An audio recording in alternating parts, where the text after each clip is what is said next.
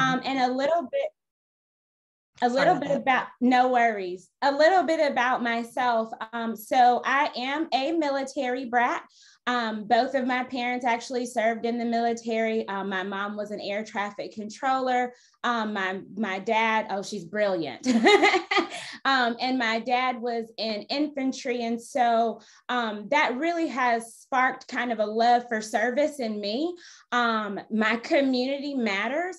I think from being a military brat it teaches you that your community can be anywhere and it can be far and it can be spread wide. But if you cultivate that community, no matter where you are located in the world, you will always have somebody that's there to support you and somebody that has your back.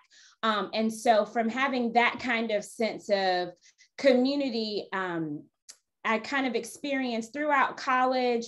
Um, you know, people say all the time if you get to have one friend for more than five or 10 years, you're probably a good person or you're doing something right. And I think about, you know, being in the military and having family and friends like that. It's so rare where you get to go out and experience, you know, I didn't go to kindergarten through college with all of these same people. And so the fact that I still have friends that I have known now for 30 years, for 25 years, all because it was important to keep that sense of family, that sense of community, no matter where you're located. And a lot of that comes from being willing to serve others um, to put others before yourself um, to serve to have a servant's heart um, and to really really know that you are always going to be a better person by championing championing for and making other people better um, and so that's kind of where my service has come from. Um, so that service now has turned into a desire to really have more of a leadership opportunity and a leadership role. Um, I definitely feel like I have the background, dedication, and commitment to taking that leadership and, and really shaping and cultivating a community that I want my kids to grow up in, that I want my mom and dad to be able to be elderly in, um, that there's something for everybody. And that looks like having a safe community for everybody. Um, so by trade, I am an attorney. Um, I focus on child welfare law. I started out um, in general family law, and I was miserable. I'm going to be honest. I absolutely hated divorces. It, it just you know blew my mind the stuff that people think is important um, and so one day a good friend of mine said hey why don't you come down to juvenile court serve as a guardian ad litem see if you like it. And I was hooked instantly. Like, this is where I'm supposed to be, helping these kids out, helping their families out. And so I initially started representing um, children and parents. Uh, one of my very first cases, I represented this young man. Um, he had stolen uh, deodorant, underwear, and cologne from Dillard's less than $500 and everybody was like oh we are going to have to change this young man's life and throw the book and all of these kinds of things and it made me think about a story about myself um, when I was in high school. Um, so I told you my family is a military family. They didn't make a whole lot of money. My parents had gotten divorced when I was in high school. So my mom was a single mom, you know, working two, three jobs at a time. I, I, to this day, I still don't know how she managed to work that many jobs and still make it to every game, practice, whatever. It, phenomenal. So um, I decided I'm gonna go down to the Hamricks in Fayetteville, North Carolina, and I'm gonna steal these bracelets because my mom can't afford them. I'm gonna take them get into the parking lot and I'm thinking to myself, oh my gosh, your mom's going to be mortified that you have done this thing. You, how are you going to look your cheerleading coach in, in the face and tell her that you've been doing this stuff? Your band director's going to be disappointed. Your friend, like, why would you do this thing? So I went back inside the Hamricks and turned myself in. You know, just like I'm giving this back to you. I'm so sorry. And I'm thinking about that story and I'm sitting in court representing this kid who is stealing necessities. And he's doing that because he has no community that is supporting him. He doesn't have parents that are coming to his football and baseball and basketball mm. games. He doesn't have teachers that have been drilling into him, regardless of what your circumstances are, you can overcome. Let's get this work done. You know, be a good student. And so it just made me realize you can represent people in court cases all day long, but if you're not doing anything that affects the legislation that directly impacts what their community looks like, mm-hmm. what resources that they have available to them, how they can succeed and be successful where they live, work, play, what are you doing this for? Um, mm-hmm. and so I, I, really feel like after COVID and the market t- downturn and this is just the time. Like we need somebody that's in the Senate that's going to be passionate about serving people, um, recognizing that this is the seat of the people. It's not my seat. It doesn't belong to any one of us. It belongs to the taxpayers who have elected you to be there. And you have a duty and an obligation to make sure that you are constantly advocating and pushing for the things that they need and what they want to see in their communities. And so that's why I'm here. And I'm thankful again for the conversation and, and hoping that I'll be able to do that for them. That was loaded. that was loaded. And I mean, being that you work in law, I think, you know, that's an excellent attribute um, to have as someone that will be coming into the Senate. Um, I notice how I just said that someone that will be coming into the Senate. I guess I, we just spoke that into existence. Huh? Listen, I'm um, claiming it. Wash it over. Go me. ahead and claim it. Look, go ahead and claim it. Um, what what I, help us understand what was the day like when you woke up and said, "I want to run for District 35. I want to run for this seat." What what made you come to this conclusion? I actually um, am in a program called Leadership Douglas. Mm. And uh, in that program, we have several different days that you go out and you learn about different stuff about your community. Mm-hmm. As I mentioned, I'm a child welfare law attorney. I've been doing this now for several years. Um, I'm very immersed in the community, you know, what the population of people that we serve, what they need, these service providers. And, you know, I'm thinking, oh, here I am, Ra Cha Cha, I know all of this stuff. And we sat through a presentation, and this young lady came um, and she named off about 45 different service providers, specifically in Douglas County, I had never heard of. Mm. And I was thinking to myself, I do this work every single day. And mm. I have never heard of any of these things. How in the world are we getting this information out to the community? And it's stuff that would absolutely reshape what public safety looks like here mm. um, in our district. It would absolutely reshape what healthcare looks like in this district, um, what access to education looks like and if I'm doing this work every day and I don't know, I know that no one else knows. And that's not fair. And I'm, you know, just on this hamster wheel and running through COVID and watching all of these families keep coming in with the same issues over and over and over. And I find out that there's some woman 10 minutes down the street that you could have had a two second conversation with, have access to these services. And I'm like, why is there not legislation connecting people to these services, mm. dictating what the advertising looks like for these programs, what the minimum income is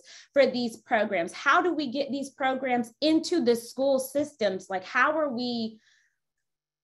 Going out and claiming that we want all of these things and to make people better. And there's nothing on the books that is making you do it telling you how to do it forcing you to do it. And i just got tired of it. I said if, if I can either sit here and I can complain about it and do nothing, or I can be a change agent and I can put my money where my mouth is, run for this seat, and show people what my commitment really is to making a difference in these areas.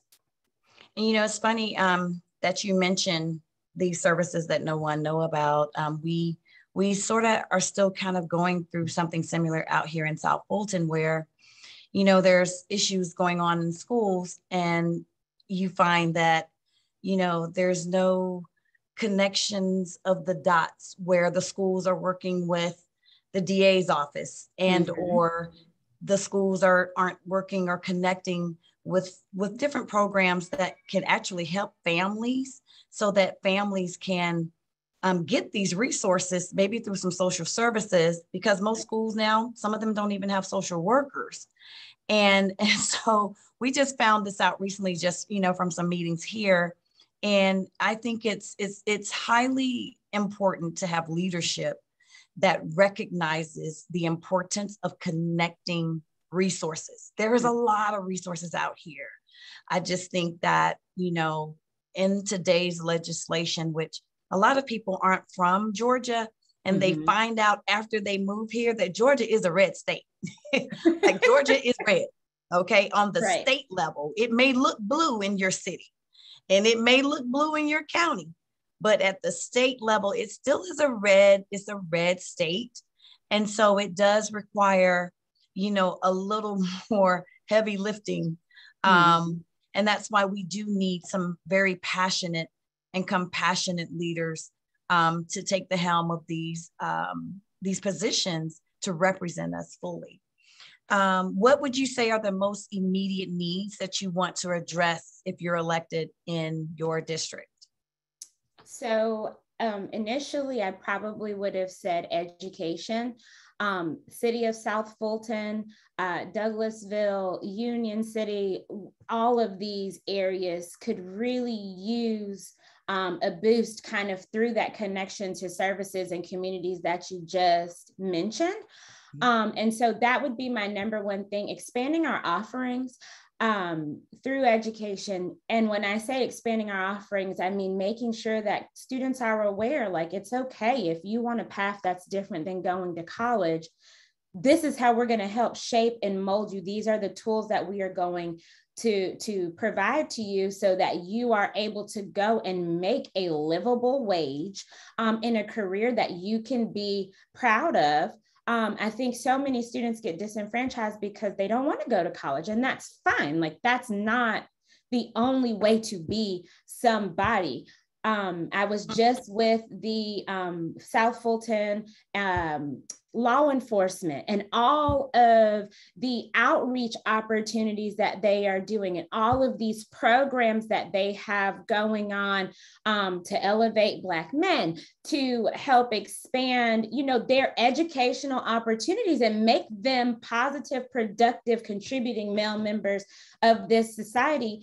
Um, and a lot of that's just basically through education. If they could get into the schools that would definitely be one. The same thing with EMS and the fire department. Um, mm-hmm. Um, and I also think that having those different community service providers in the school changes the dynamic of what community policing looks like for you. Um, it makes citizens more likely to actually rely on the police department in a safe and healthy way, but also helps them know how to interact with us. Um, and if we can start that relationship through early education, you know we're we're already half the way there with with ch- trusting and, and rebuilding and reshaping what our communities look like. And i definitely think that the south fulton police department's doing an awesome job of that right now. Um, douglasville's police department. And i love to see how all of the different um, police departments and fire departments and chiefs in our district are all really kind of working together to make sure that you've got uniformity across these jurisdictions which would be my next thing that I would want to tackle, and this is kind of more specific to our court systems, but we absolutely need legislation to address uniformity across the state. Oh. It should not matter if you live in Union City or if you live in Cherokee County, you should have the same and equal access through a uniform filing system. Everybody cannot afford to pay for an, attor- an attorney, and your access to justice should not be denied because you cannot figure out how to use some complex filing system that exists over here but doesn't exist over there or they're kicking your filings out because they don't match or you know whatever. So i would love to see legislation to make uniformity across the entire state to make sure we are all using the same technology the same platforms and the same filing system. Um, I also would like to see more legislation so that we are training our judges so that uniformly you are getting the same legal outcome. It should not matter if I get divorced in DeKalb County or if I get divorced in South Fulton or if I get divorced in Douglasville. Um, I could get a completely different outcome just based on what courtroom that I'm in. And that is not fair.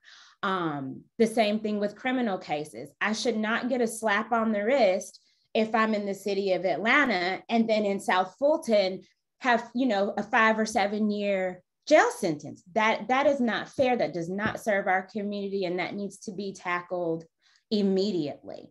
Um, the other thing, and I guess the last thing that I would really want to start pushing in, in my early terms as senator um, would be to focus on um, healthcare. Mm-hmm. Um, and specifically how that crosses over into other sectors. So, one of the things that I would really want to focus on as far as crime is concerned is silent crimes.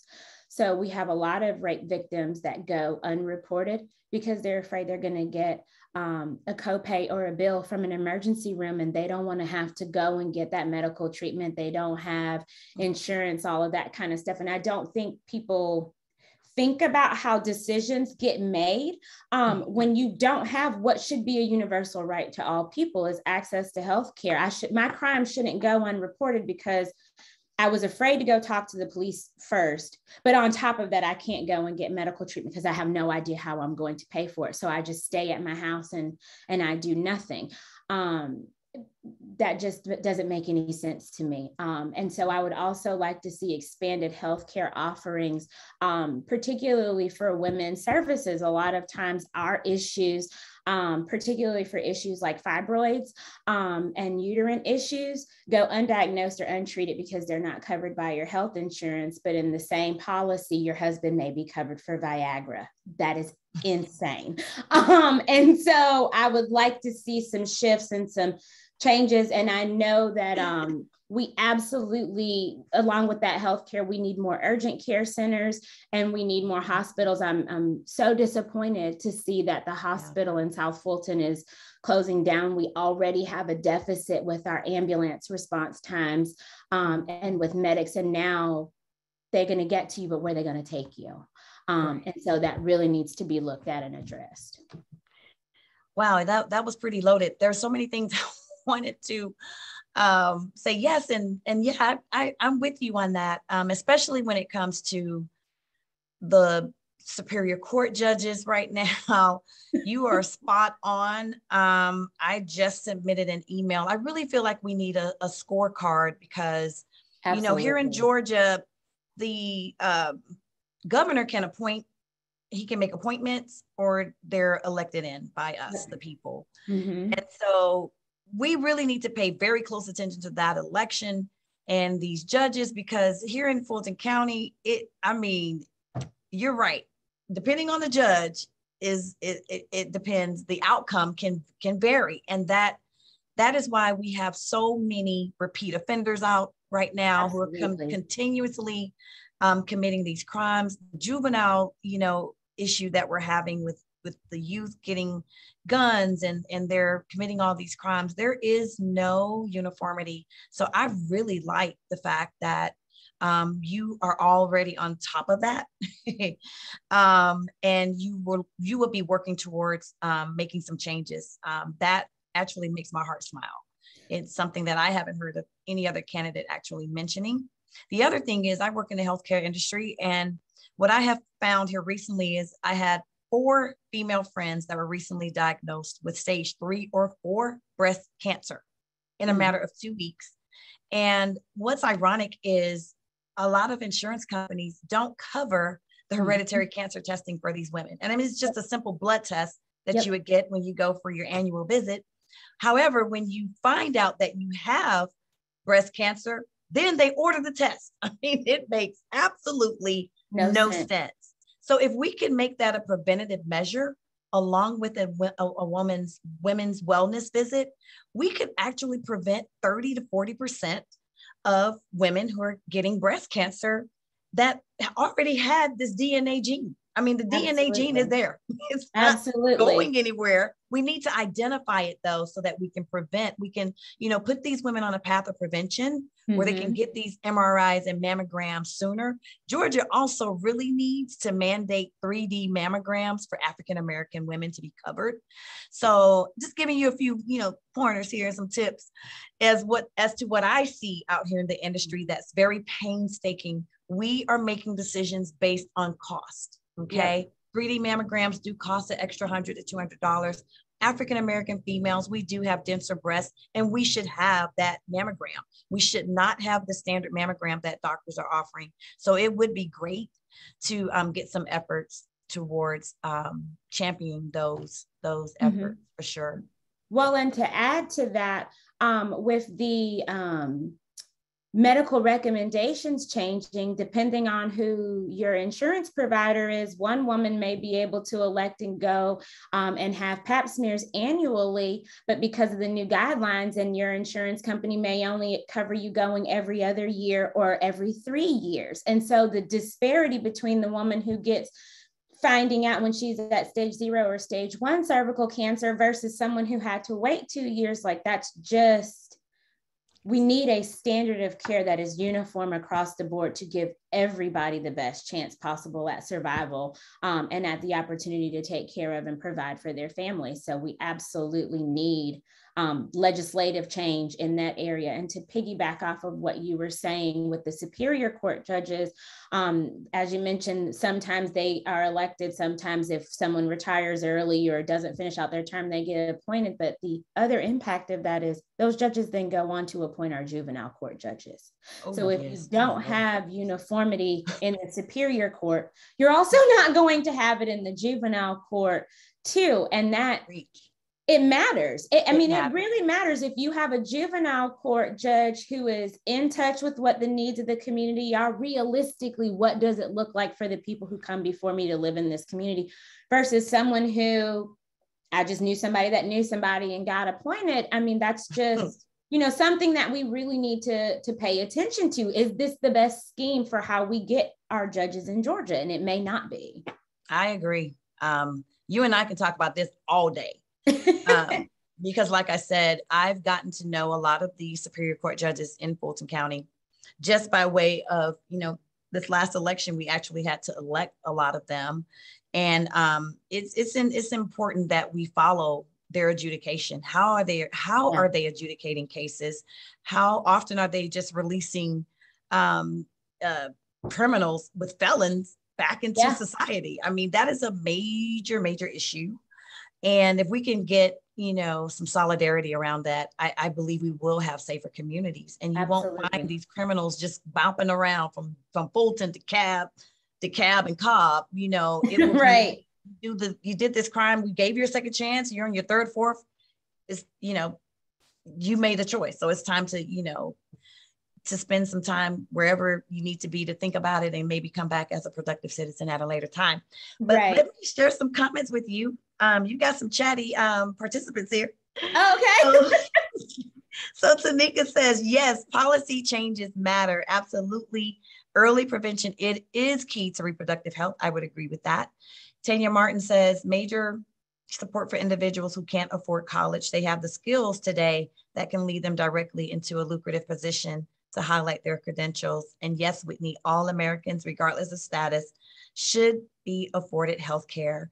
And Tanika comes back and says, completely agree with getting those 3D mammograms. Yes, yes, they are a necessity. Absolutely. And you should not have to choose. If you have to pay a $100 over getting one free, it should be the I would say the standard for African American women. Just make it the standard for all women. Heck, it's better right. than the original one. Now, I do want to go back to everyone likes talking about affordable healthcare. And I have seen, I've actually received a um, brochure from someone who said that they were going to, you know, make sure that all Georgians get affordable healthcare expand by expanding Medicaid. I just want to, you know, say this that I think we should look at maybe expanding healthcare, but not maybe through Medicaid. And, and the reason why I say that is because a lot of doctors are not being reimbursed by Medicaid.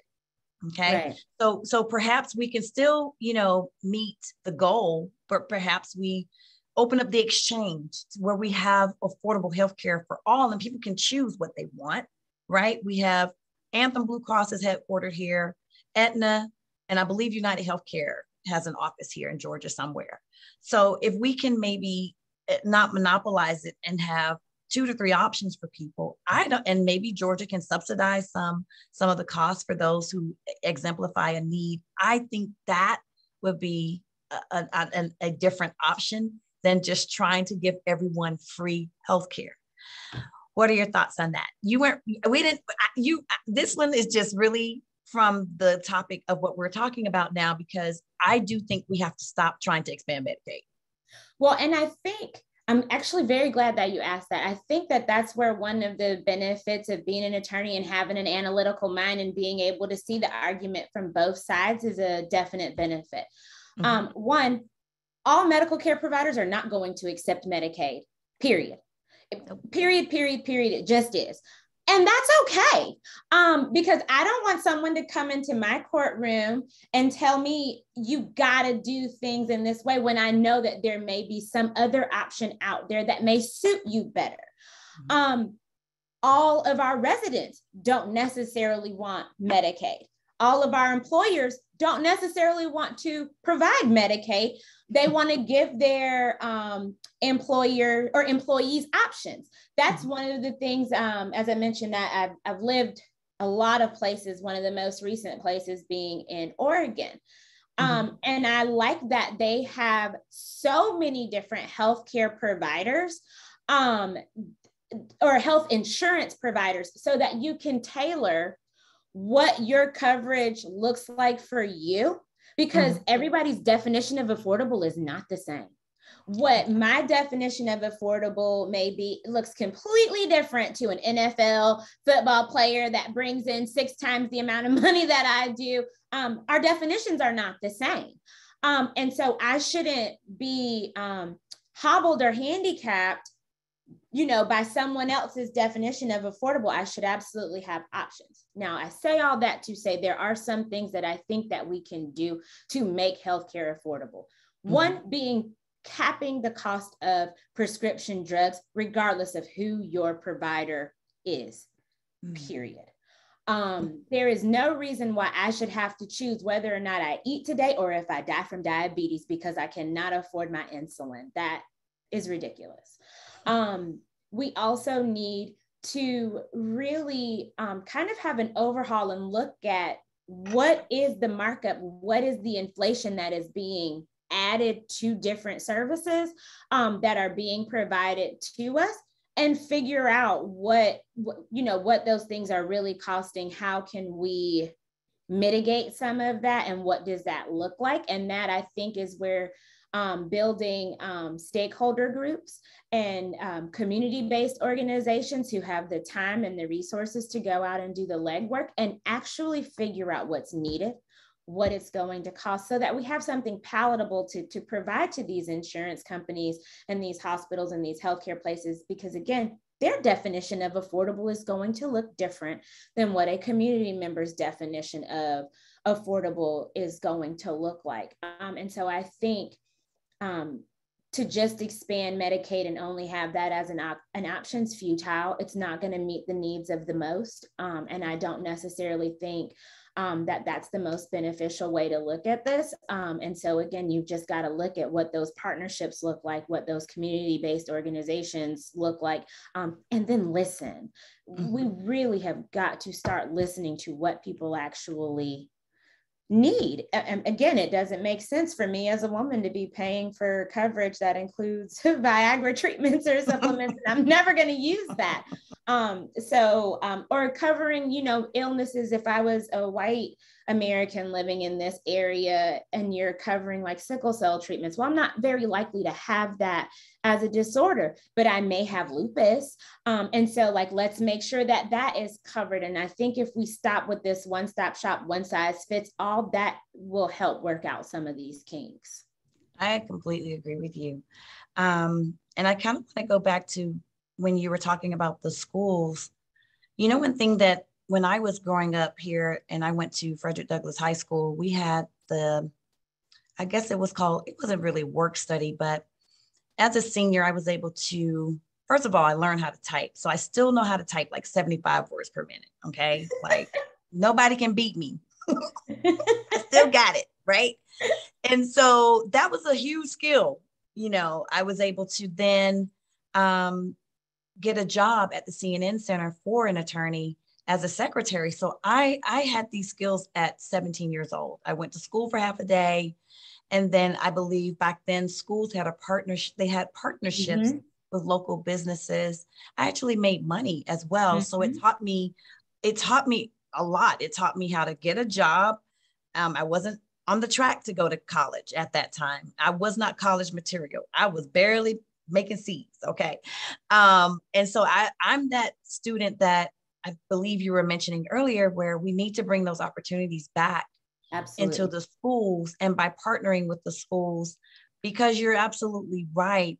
We we are heading into an abyss, I believe, where mm-hmm. we will have so many students vowing and trying to get into college and going to college and getting into debt.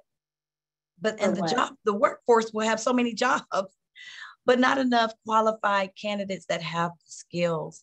What do you think, you know, can be done, I guess, in state legislation to improve the synergies between businesses and um, we do have some colleges here in Georgia, universities that actually teach trades. How can we improve um, that level of workmanship between our students, maybe even starting as, as early as eighth grade for those kids who may know or have some type of idea of what they want to do. I mean, you can become a medical assistant for crying out loud or an ultrasonographer.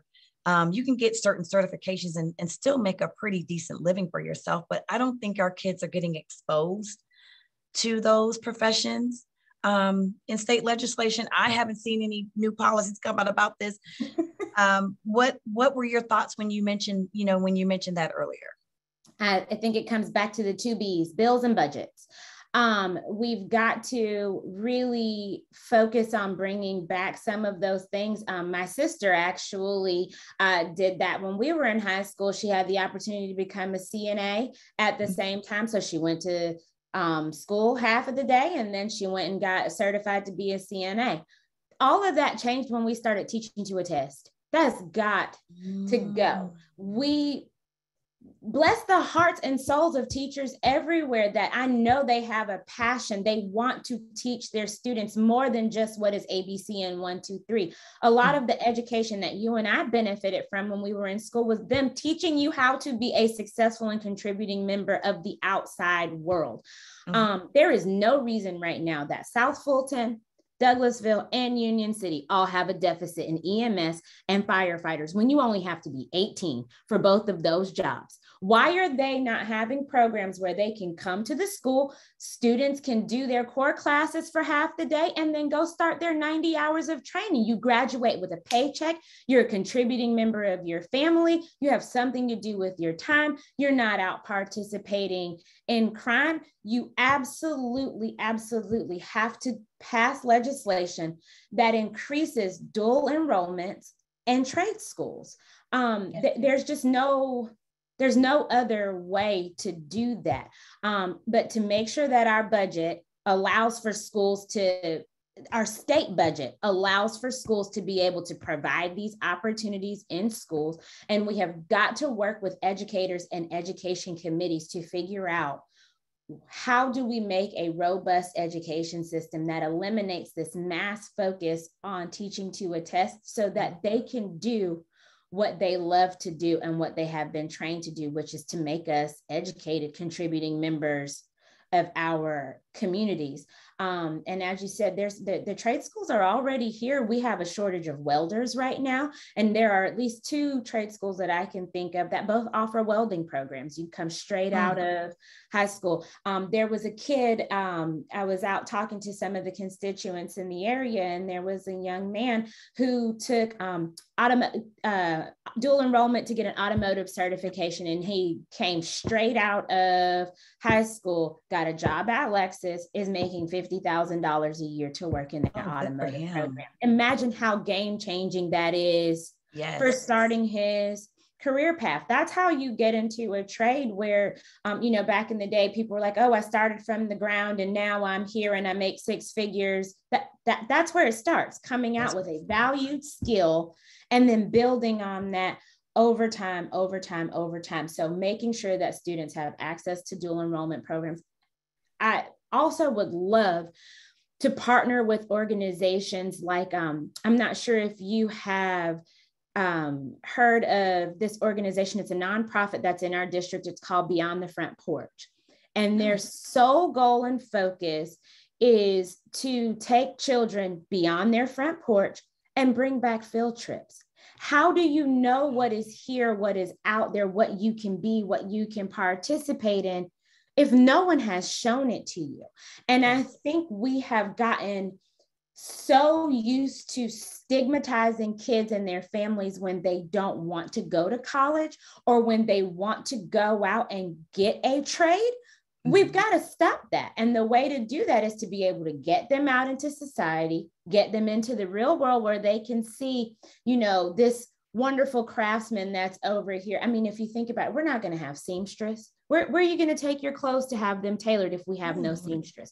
We're not going to have people that um, are cobblers and, and repair shoes if no one's teaching that trade. Who's going to fix your car if no one wants to go to automotive school? Um, so we've got to stop the stigmatization of kids who want to go those career paths, kids who want to work with their hands. Um, and so I think, like I said, we need bills to increase access and availability. We need a state budget that allows for these programs to be in the school. And then we've got to get into the schools and open up partnership opportunities to bring field trips back.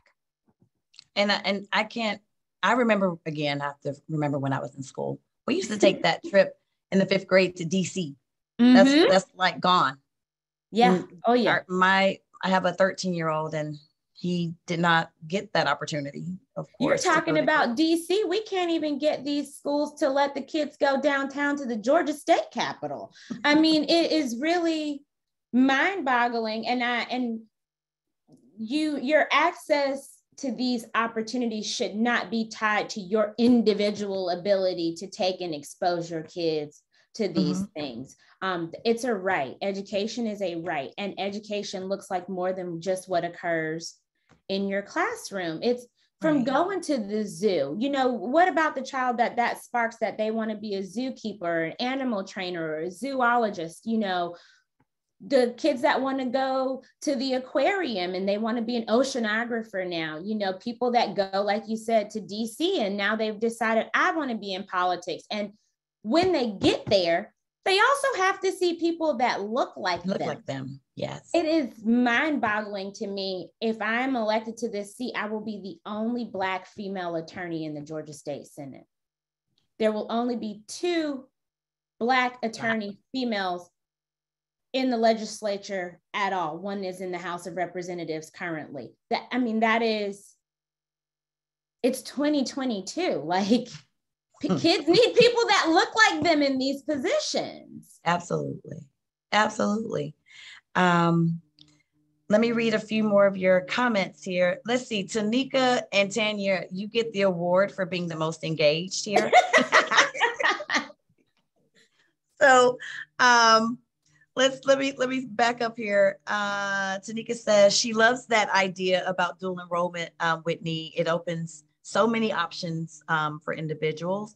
And Tanya says that her company has a program called the New Collar Worker, where they focus on students who can't afford college, but they currently possess STEM skills and can move into IT roles immediately wow. after graduating from high school.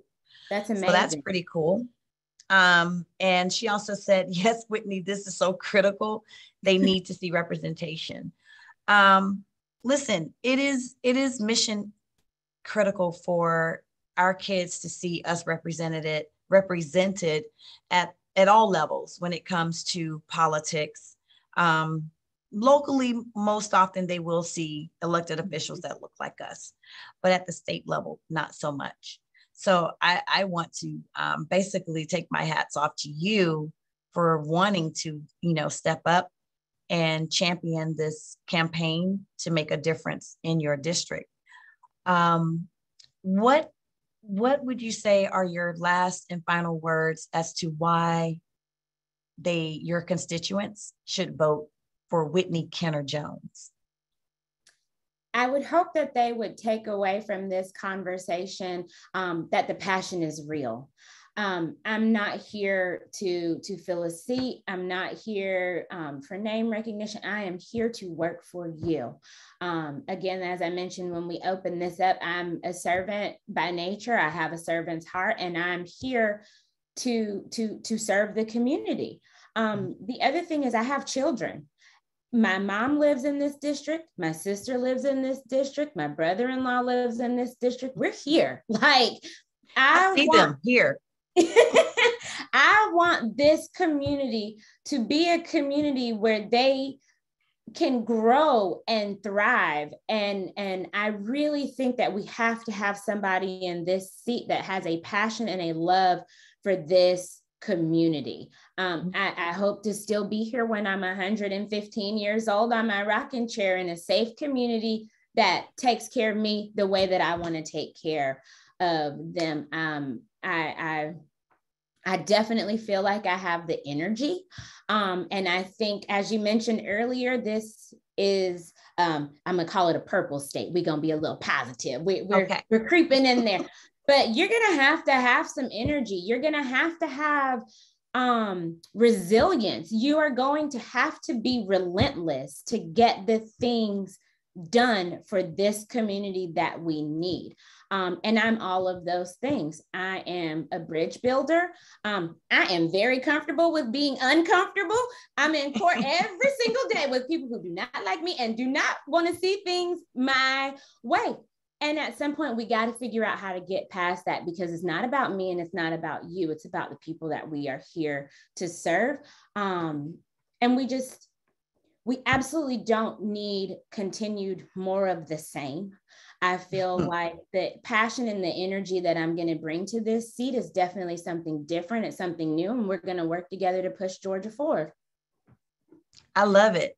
Love it. And I love the idea of it, of us being purple. that is definitely a, a, better, a much better spin on, um, you know, where, where we have been for quite some time. But what else would you like for the constituents to know? Like, do you have some events coming up where they, you have some meeting greets? Um, do you want to share your your your platform? Where can they find information out about you um, on your website? Um, I would love our um, followers and the and the folks on tonight and all the the remainder of the community to know we can be found on the internet at whitneykennerjones.com. Um, we are also on Facebook and on Instagram. We're on Facebook under um, Whitney um, Whitney Kenner Jones for Georgia, and on Instagram at um, elect Whitney Jones. Um, and so I'm hoping that, oh, I think my cousin Vincent just logged in all the way from Texas. I'm sorry. Hey, Vincent.